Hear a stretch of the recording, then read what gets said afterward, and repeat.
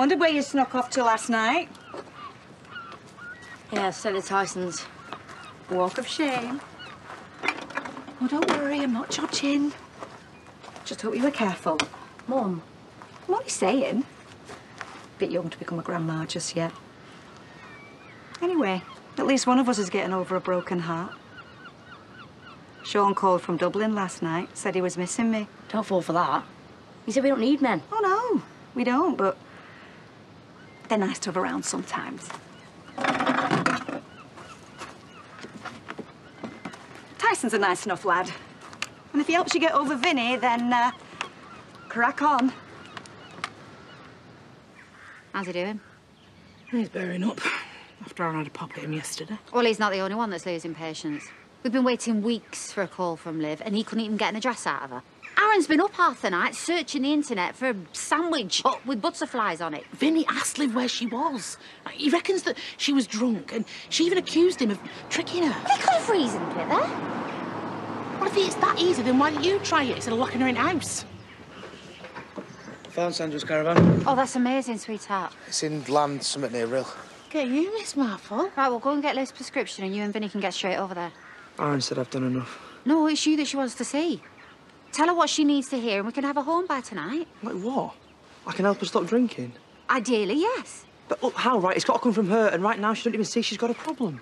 You can still talk to her about it. She might take it better from you. We're not exactly close like we used to be.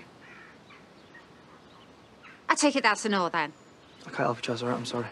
Vinny, please. Fat like you see is. Leave it.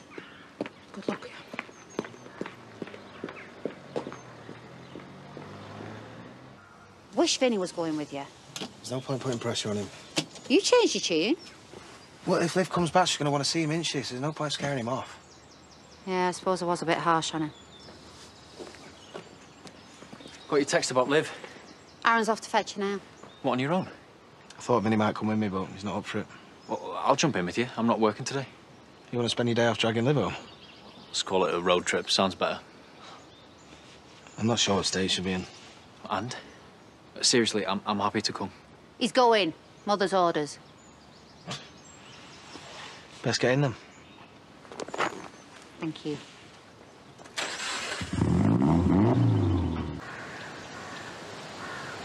Hey, I've got a signal. Uh, I'll screenshot it in case we drop again later. Right. We carry on until we hit a T-junction. Left, right after that, and then straight on towards the coast. Well, come on then. I thought you were in a rush to get there. Yeah, and then what? Come home, Liv. It's all going to be different. Nothing's changed. Well, maybe not that. Well, nothing has changed. Vinny's still backing off, and Liv still blames herself for Paul, and then if my mum gets involved again, she's going to kick off. Well, they still care about her. It's her home, her whole life's there. She just needs reminding of that. Well, Sandra's not going to be helping her either. She'll be encouraging her. And then what's Liv going to want? A drinking partner or someone who's going to tell her to stop? Well, telling her's not going to do any good.